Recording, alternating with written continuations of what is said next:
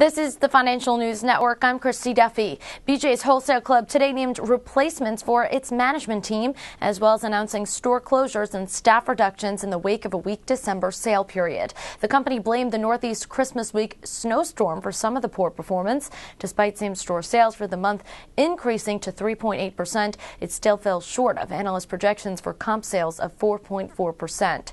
Wall Street Strategies analyst Ben Brian Sozzi, however, maintains his buy rating and $53 price target, saying that BJ's moves are likely an attempt to make the company more attractive to a potential bidder rather than remain a standalone company.